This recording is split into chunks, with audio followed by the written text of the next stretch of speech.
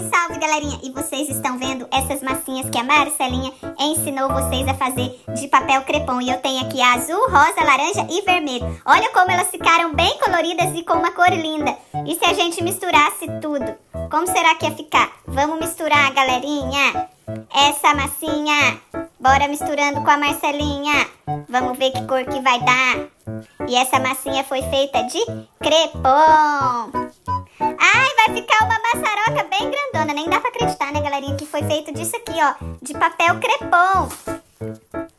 E olha só essa massinha gigante da Marcelinha. Amassa bem. E a Marcelinha continua amassando. Ai, você acha que vai predominar a cor azul, a cor laranja, a cor vermelha? Ou a roxinha? A roxinha parece que já até sumiu, galera. E olha a bagunça que a Marcelinha fez aqui. A mamãe não pode nem saber dessa bagunça. Senão ela vai ficar muito brava.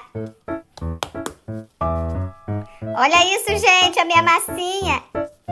Olha essa cor que linda.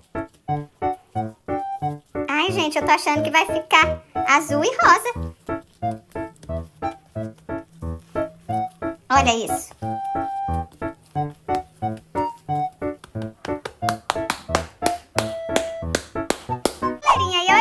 Demais, ela não é, misturou por inteira. Ficou tipo assim, um azul aqui, um meio vermelho aqui, meio laranja. O que mais sumiu eu achei que foi o roxinho. Galerinha, eu voltei aqui pra mostrar pra vocês que eu fiz quatro bolinhas, ó.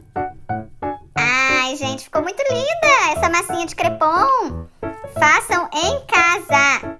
Vocês vão se divertir, é muito simples e fácil.